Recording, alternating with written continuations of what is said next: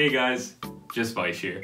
So today I'm going to talk about a couple of decisions that you should make before signing up for a credit card or knowing when to pick the right one. If you enjoyed today's video, please give me a thumbs up, let me know what you guys think, and subscribe if you already haven't.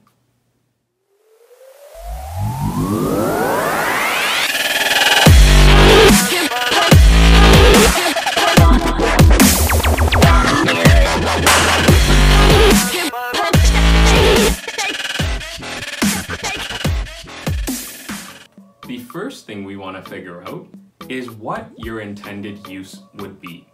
If you're someone that just recently came to Canada or are an undergraduate student, recently just turned 18, you're more than likely looking to build your credit score. Now for this, you want to get something that's simple with no annual fee, a relatively lower interest rate, and a medium to sort of tolerable level of credit allowance. Through doing so, you'll be able to make your regular purchases, pay off your credit card, and build up your credit score.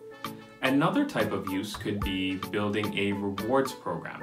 So someone might be more interested in getting points for every time they use their card, or getting miles for the next time they choose to fly. And finally, you could get a cashback credit card.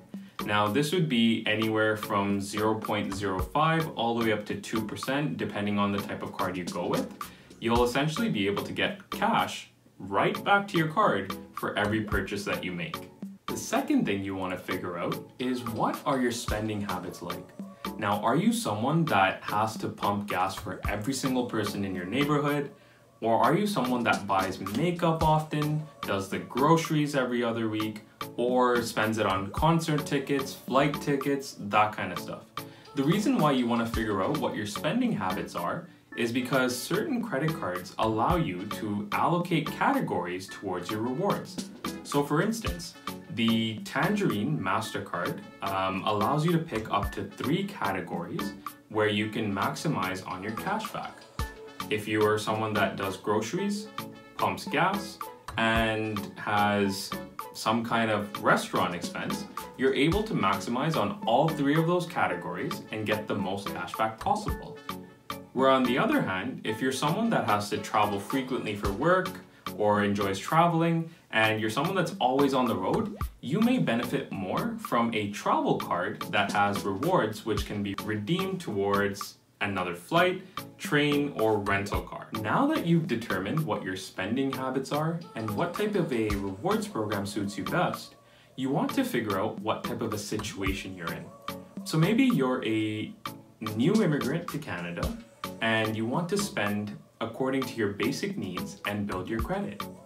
Or maybe you're in undergrad and you're still in school, you want to make sure that you have a credit card for all of your immediate expenses. You want to find something with a low interest rate and something with maybe some types of perks for shopping. And on the other hand, if you're a small business owner, you may prefer to have something that gives you extended warranties, rental car coverage, or even some type of travel rewards. So now that you've picked your credit card, you know what situation you're sort of in, and you've got your credit card in the mail and you're ready to use it, you want to make sure that you're completely aware of all of the key terms that come with your credit card agreement. The first and most important one is your APR. This is the interest that's applied to your balance carried forward. So for instance, if you spend $350 and you don't pay it off this month, your APR will apply to that $350 credit that you owe, and that will be your interest plus your principal carried forward. Now, the next key term you want to look at is your minimum payment. Now, this is the amount that's fixed based off of a percentage as far as what's due in order for you to proceed to the next month.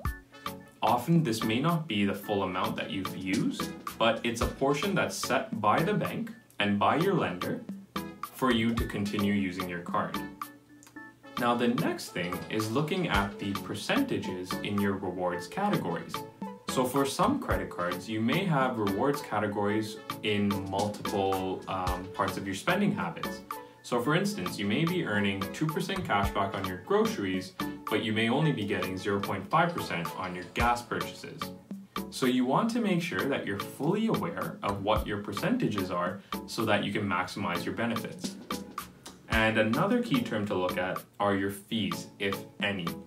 So for some beginners cards, they don't have an annual fee or a monthly fee, but for the more higher end rewards cards that often give you some type of an air miles program or more protection in terms of warranties, will have an annual or a monthly fee. You want to make sure that you're aware of these so that when that charge shows up at the end of the year, you're not surprised. And finally, any other perks or protections that may be included as part of your agreement are also good to know. Another key question to ask yourself is if you qualify.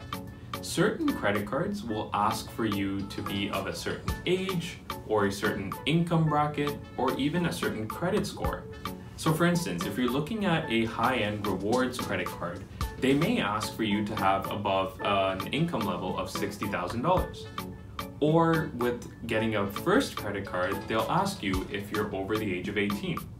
You want to make sure that you've read up on all of the key information, that you qualify, and that you're ready to go before you go and sign up for a credit card. So now that you've got your card, you want to make sure that you enjoy it, but enjoy it responsibly. Use your credit card whenever you can, but make sure that you're paying it off on time and you're paying it off in full. And finally, using your credit card will allow you to build your credit score if you use it responsibly. So I hope you guys enjoyed today's video, and if you did, please give me a thumbs up and let me know in the comments below if you learned something new or if there's something that you'd like to share. If you already haven't subscribed, please hit that subscribe button, and I'll see you guys next time.